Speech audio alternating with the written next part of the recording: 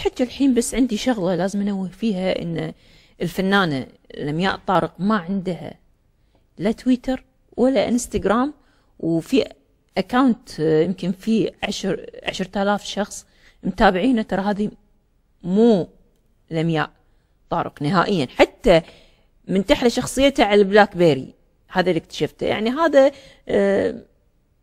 هذه حالة مرضية إن أنا أنتحل شخصية هذا الفنان في كل المجالات عشان بس هذا يمكن حب بس حب مضر للنفس. إن أنا أبي خلاص أنسى ذاتي أكون في شخص هذه الفنانة أو الفنان.